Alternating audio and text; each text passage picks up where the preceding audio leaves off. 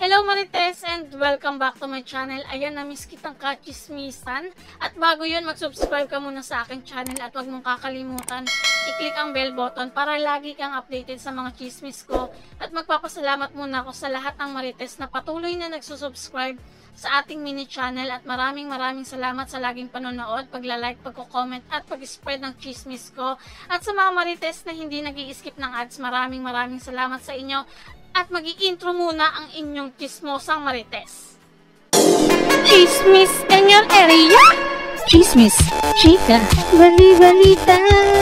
Chismis, chika, bali-balita. Chismis, chika, bali-balita. Chismis, chika, bali-balita. O ano na marites? Ano naman tayong pagchichikahan. So, eto na nga So, eto na nga mga marites, kakalma lang ako today. Kasi baka isipin ng iba na may ginagaya na naman akong personality, na ibang tao. So, kung ano ako sa harapan ng camera, yun yung ako kapag nasa harapan ng camera. At iba rin ako kapag nasa likod ng camera, lalo na kapag first time ko lang makilala yung tao. Siyempre, gagamayin ko muna yung ugali bago ko ilabas yung ugali ko din. Kasi ang pangit naman kung ilalabas ko agad yung ugali ko. Mamaya ma-offend siya sa ikikilos ko or ma-offend siya sa masasabi ko. So, ayun, ang pangit din naman mag-feeling close agad-agad, di ba? So, ayun na nga, mga marites, minsan dito sa amin, oo, iba pa yung nakakaalam ng mga balita kaysa sa akin. Oo, um, yung may gulo na pala sa labas na hindi ko alam sa iba ko pa malalaman, mga ganun. Hindi naman talaga ako chismosa marites. Hindi naman talaga ako isang marites. Oo, dito lang sa channel na to. Ito lang. Kasi ito yung pinaportrait ko dito, yung pagiging marites. Ha? Kaya kung may na-offend man sa inyo, pagpasensya nyo na. Pero yung mga natutuwa, maraming maraming salamat. Sa mga nakaka-appreciate kay Marites, maraming maraming salamat. So, ayun na nga, Marites. Wala talaga akong ginagayang personality. Ito ko kapag nasa harapan ng camera at kapag kasalamuha ko talaga yung mga close ko. Yung mga friends ko, ganyan, makulit ako, maharot ako, ayan Ganun. Madaldal din ako. Pero syempre inilulugar ko yon no? Kapag ibang tao naman yung kaharap ko, syempre iba rin naman ako. Ganun. Matuto tayong lumugar at matuto, matuto tayong makibagay, di ba? Importante yung makikibagay tayo. Hindi agad-agad ilalabas mo yung ugali mo. So yun nga mga marites, kung iniisip nyo na may ginagaya kong ibang tao, well, ano nyo yun, opinion nyo yun at ginagalang ko yun. So, ayun na nga, igalang nyo yung opinion ko ngayon about sa style ni Bea Luigi Gomez, yung ating Miss Universe. So, ayun na nga mga marites, ano nga bang bagay na ayos or style sa ating Miss Universe na si Bea Luigi Gomez? So, para sa akin, bagay naman sa kanya lahat kasi nadadala niya kahit anong ipasuot sa kanya, kahit anong ayos niya. Yun nga lang, ayoko lang sa kanya yung masyadong dark yung eyes, yung masyadong sabog na sabog yung ano, yung eyeshadow. Medyo parang nagiging matured siya tingnan doon, hindi siya mas nagiging mukhang binibini. Maganda naman siya, oo. Pero ayoko lang talaga ng mas dark yung kanyang eyeshadow. Gusto ko yung makeup niya doon sa homecoming niya doon sa Cebu. Ay nako, ang fresh-fresh niya doon, ang ganda-ganda niya doon tingnan.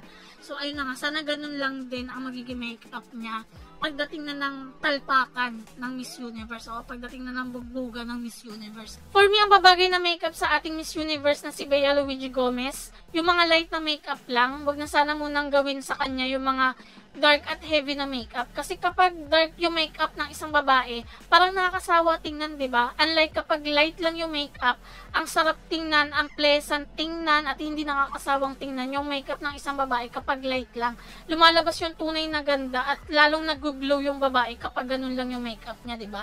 So sana wag muna nilang gawin sa ating kandidato yung mga sobrang dark na dark yung makeup, no? Bagay na sa kanya yung mga ginagawang makeup sa kanya ngayon. Sobrang fresh niya ngayon. Ganun.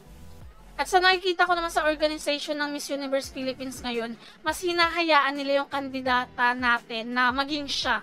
Yung style niya, kung ano siya, di ba? Kasi last time parang masyadong kinontrol yung kandidata natin, kaya nawala yung spark, nawala yung glow niya pagdating ng bakbakan. So ngayon naman, parang hinahayaan siya maging siya. So mas maganda yun kasi pagdating niya dun sa stage, siyang siya yung makikita natin, okay? Wag na sanang bombahin, so wag na sanang i-vulcanize ng todo yung ating kandidata at wag na sanang lagyan ng mga malalaking yung ating kandidata.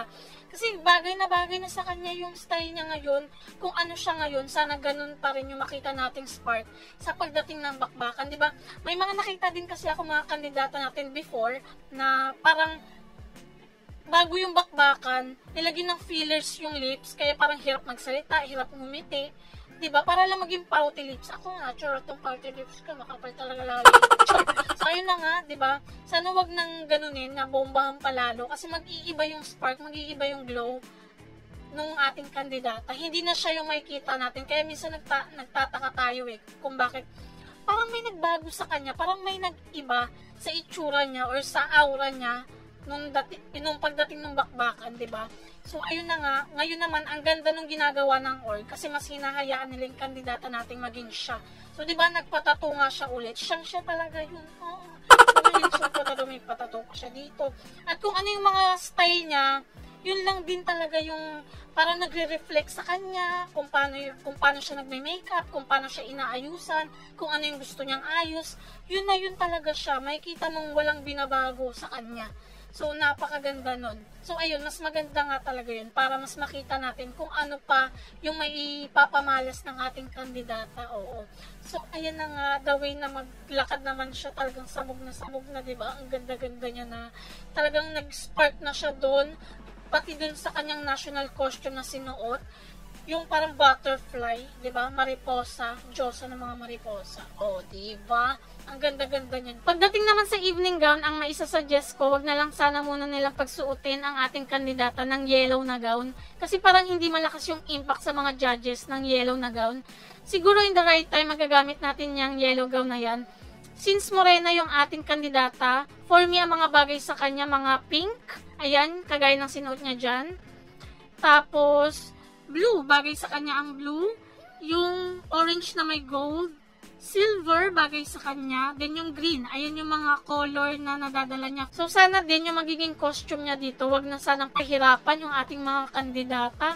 Magdala ng mga malalaking ano, pakpak, magdala ng malalaking kung ano-ano yung nasa likod. Huwag na sana yun. Yung simple lang pero elegant. Diba? Yung bongga. Pero hindi naman hirap na hirap yung kandidata natin maglakad, magrampa, di ba? Yung suwabe lang, pero maganda dapat yung national costume niya. Yung parang costume ni ano, ni Emmanuel, dun sa Reina Hispano-Americana, di ba? Ang ganda, ang elegant lang, ang ganda-ganda. So, ayun, nakakagalaw yung kandidata natin kung paano siya, kung paano niya gustong gumalaw. Di ba? Yung mga, ano niya rin, yung national costume niya nung nanalo siya ng Binibining Pilipinas. Di ba nga yung sinabi ko nga kanina na mariposa na, kung mariposa man yun, basta para siyang ano eh, para siyang butterfly, yung sa may legs niya, diba? Tapos yun dito, tapos yung slight lang dito sa ulo, na parang santa, ganun, diba? Ang ganda. Talaga makakagalaw siya ng bonggang-bongga. Though mas mataas yung heels niya dun, pero naitawid niya yun at nabonggahan niya yung pag-aura. Napakaganda niya. Dun. So, ayun na nga mga Marites. Bago matapos itong video na to, may ipapakiusap lang sana ako sa inyo. Pakisuportahan natin ang ating kaibigan na si alias Dong Motovlog. Ilalagay ko yan sa inyong mga screen. Pakisubscribe nyo siya. At baka si Kumpare Marites balak magmotor para mas marami pa siya malaman ng mga parts ng motor at kung ano-ano pa. So, ayan na nga Marites anong opinion mo or anong suggestion mo sa magiging style ni Miss Universe Bea Luigi Gomez i-comment mo dyan sa baba at ilagay mo hashtag Marites para babasahin ko yan sa next video ko. At ayun na nga Marites, na-enjoy mo ba ang video na to? Kung na-enjoy mo ang video na to, just give it a thumbs up. And please don't forget to click the subscribe button at huwag mong kakalimutan na click ang bell button para lagi kang updated sa mga chismis ko. So, maraming maraming salamat ulit sa panonood Marites hanggang sa susunod na chismisan. Bye-bye!